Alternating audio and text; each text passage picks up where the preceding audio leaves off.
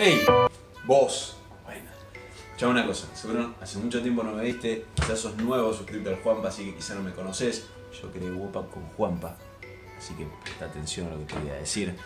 Eh, y hoy te vamos a dar unos tips random, pero no son tan random porque son una fiesta de cómo, cómo básicamente estar cheto en el fitness, cómo, este, cómo entrenar, vamos a hablar de entrenamiento, vamos a hablar de tips de nutrición que te van a servir muchísimo, así que presta, por favor te lo pido, presta muchísima atención a lo que se dice.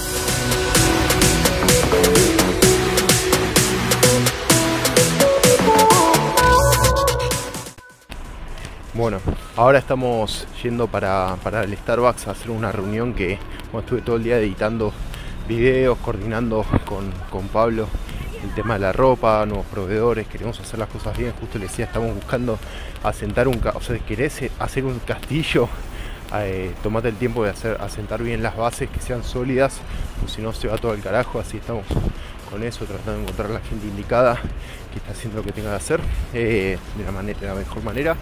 Así que bueno, ahora salió, quizás sale un, nuevo laburo con, con una persona que nos va a contratar de, de- la agencia de medios, quizás podemos también trabajarles con un, que un instituto de, de odontología. Eh, así que vamos a ver qué onda eso y a seguir haciendo que pase.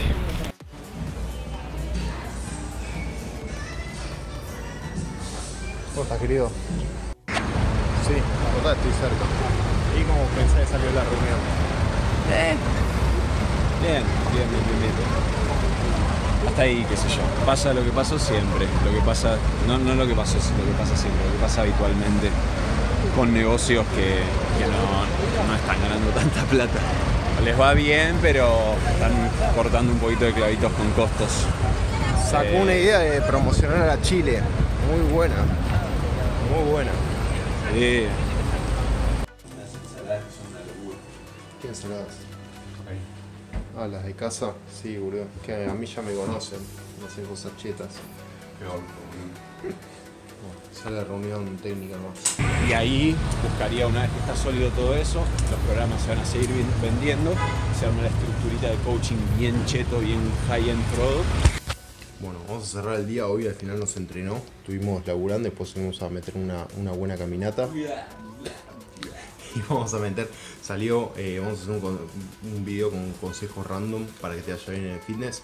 Voy a empezar yo. El primero de todo, tener claro tu objetivo. Si no tenés claro tu objetivo, te puede ir muy pero muy mal porque vas a empezar por hacer, por hacer, por hacer y después no vas a saber por qué lo estás haciendo. Cuando te dé paja, tener las emociones malas, las emociones feitas te vengan a tu vida, no vas a saber qué hacer y te va a complicar muchísimo el seguir adelante y mejorar. ¿Escuchaste? ¿Eh? Amigo, ¿escuchaste? Así que presta atención, presta mucha atención. ¿Ah? Te voy a otro consejo ahora. Ah, hay que hacer ahora los consejos. Cada es uno y uno. tipo, ¿Qué? Y dije que tengas claro tu objetivo. Ah. Consejos eh, random así para que te vaya bien en el fitness. mm, yo Porque a vos diría- también te fue muy bien en el fitness. Pero porque yo soy maníaco en estar Bueno. Eh, yo te diría, mm, aprender las bases, por lo menos las bases de la nutrición.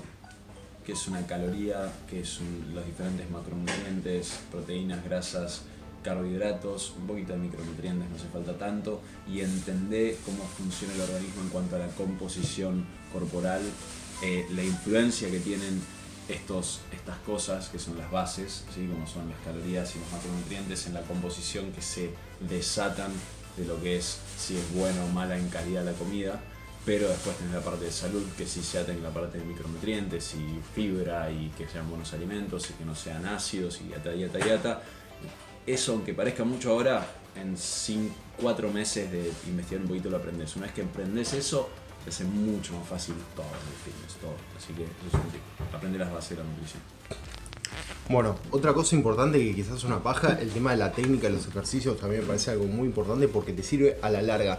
A la corta te va a servir entrenar más o menos bien o muy bien o mal, te puede servir igual. La cada es que a la larga te vas a terminar lesionando y eso te puede tirar muchísimo progreso para atrás. Así que una recomendación grande, trata de empezar a ver como todos los videos de YouTube eh, que puedas sobrehacer bien la técnica, sobre todo los ejercicios que tienen más... O sea, recién hablamos con Fede, tipo, eh, lesionarte haciendo dominadas es muy raro. Eh, te recomendaría que veas más lo que son, cómo hacer bien los ejercicios de, no sé, sentadillas, peso muerto, que ahí es donde todo el mundo se revienta y son muchas cosas técnicas para tener en cuenta que no se aprenden así nomás. Tenés que ver una y otra vez cómo hacer video. Fíjate en nuestro canal de Webback Fitness, hay una banda de, de, eso, de tips de cómo hacer bien las sentadillas, los pesos muertos, te pueden venir muy pero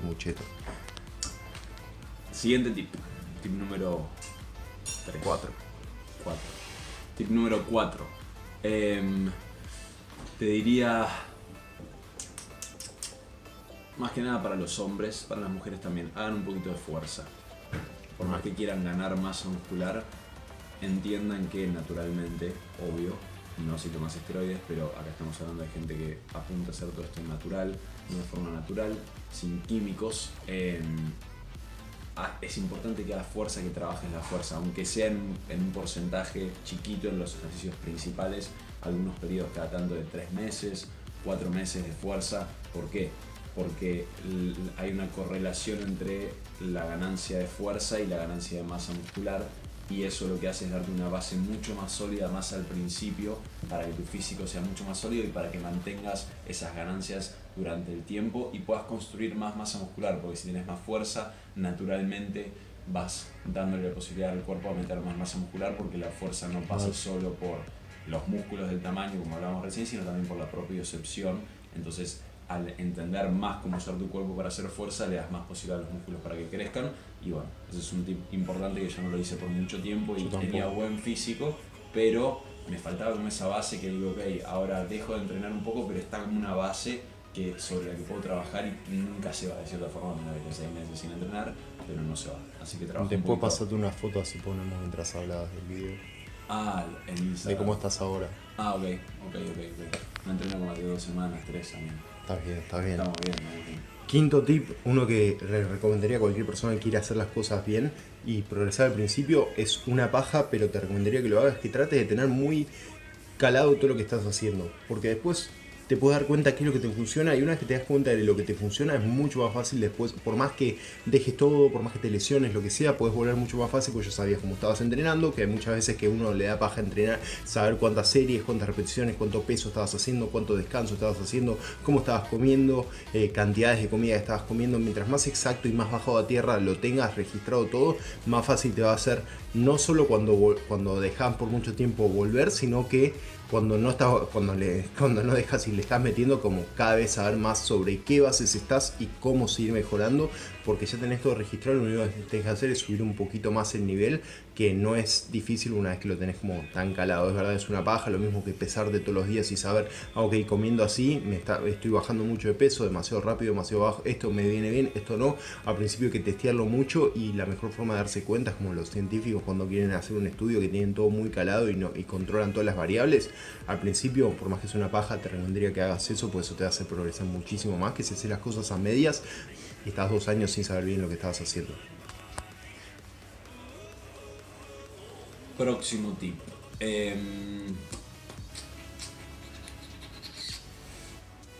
no pienses que necesitas tanto entrenamiento para tener resultados. Eso, eso, me parece importante. Más que nada no te hagas la cabeza pensando que necesitas entrenar como un desaforado em, y no pienses que es tan drástico el hecho de entrenar más efectivo, quizá hay más, menos tiempo y menos días, porque si lo haces bien, al fin y al cabo vas a seguir teniendo progreso y no es tanta la diferencia, menos que me decís que yo, yo he hecho periodos de entrenar seis veces por semana, una hora y media, dos horas cada entrenamiento, una locura. Em, pero no hay tanta diferencia entre entrenar 3-4 veces por semana. Entonces, no, no, no, no pierdas esperanzas o no, o no, le saques peso o no pongas excusas. Mismo si puedes entrenar dos veces por semana. Lo importante es que vayas a entrenar. Em, porque vas a tener progreso más cuando sos inicial. Y cuando sos inicial puedes tener la, el, el, la, la visión equívoca, ¿está bien dicho? Sí. Este filósofo mío, ¿eh? O errónea errónea, la visión errónea de pensar que porque te perdiste un entrenamiento, de repente algo pasa con el cuerpo, no pasa Se nada. Exacto, no pasa nada, entonces enfócate al principio más que nada en ser consistente, sean tres, sean dos, sean cuatro, pero anda. Si la parte de la nutrición está bien y vas a entrenar y el entrenamiento es medianamente prolijo, efectivo, vas a tener muy buenos resultados. No desmerezcas eso y no pienses que va a pasar algo si no puedes entrenar cuatro o cinco veces por semana, una hora y media. Bueno, y para reforzar eso que acaba de decir Fede, creo que es muy importante eso, que sea al principio o más adelante, lo que más resultados te va a dar es la consistencia y la persistencia por sobre la intensidad. Mucha gente piensa que con la intensidad se logra todo, que saliendo se ponen una campera con 30 grados de calor y salen a correr o más grados todavía y se matan y hacen cardio todos los días y juegan al fútbol dos veces por semana y entrenan en el gimnasio todos los días o cinco veces por semana y eso no lo puede mantener en el tiempo y es más, hasta te lesionás por hacer tanto de más y en realidad haciendo un tercio de eso pero por un año entero, o sea, es mucho mejor hacer 10 kilómetros por día todos los días del año que hacer 100 kilómetros en un solo día que te quemás y no lo puedes volver a hacer día tras día. Es como tratar de correr una maratón todos los días. Simplemente el cuerpo no está hecho para eso y si pensás hacer algo así, lo vas a pensar después de estar 5 años metido, que ya decís, ok, me la puedo bancar y sé cómo yo reacciono, ya sé escucharme mi cuerpo, pero al principio tenés que hacer muchas otras cosas. Y es lo mismo que intentar hacer malabares del principio con 10 motosierras prendidas a fuego en lugar de empezar con una pelotita a la vez. Así que eso creo que es muy pero muy importante y mucha gente no lo tiene en cuenta porque sobre todo cuando tienen mucho sobrepeso, lo primero que piensan es cómo perder 10 kilos en una semana. Y ese ya, ese approach ya está mal porque no te asegura que vas a ser consistente en el tiempo con eso. Porque no hay ninguna forma consistente de perder 10 kilos en una semana y poder seguir haciendo eso en el tiempo. Y te puede hacer sentir muy mal y el cuerpo te la va a hacer jugar en contra y son muchas más cosas, pero quiero hacerlo corto. Hacemos dos tips más. Yo uno más, boludo, para. Por eso, uno, uno cada uno. Ah, Serían 10 tips la pupu. yo, yo diría, de nuevo, para los que empiezan, Espero que te haya servido eh, el video de, de- de consejos que salió así nomás, porque bueno, íbamos a hacer un entrenamiento, pero bueno, terminamos hablando y hacer una muy buena reunión que nos sirvió mucho. Aplicamos eso que dice el señor del 80-20 a estar metiéndole a los negocios, que también es muy importante, para seguir rompiéndola. Y bueno, también eh, básicamente eso, no quiero agarrar mucho más. Espero que te haya servido. Si estás viendo esto por IGTV, dale like, comenta si querés que hablemos de alguna o de otra cosa, pues siempre de vez en cuando nos vemos y podemos hacer cosas a pedido. Eh, YouTube lo mismo, simplemente que también fíjate si ya estás suscrito o suscrita al canal, que tenemos un montón de info y acordate lo de la alarmita para que te aparezcan todos los videos que van subiéndose, que muchas veces se suben videos y ni siquiera te aparece porque no activaste la alarmita, así fíjate acá tocar la campanita, no sé bien por dónde está, cualquier cosa chi- chiflanos, comentá lo que sea que te vamos a responder y a seguir haciendo que pase.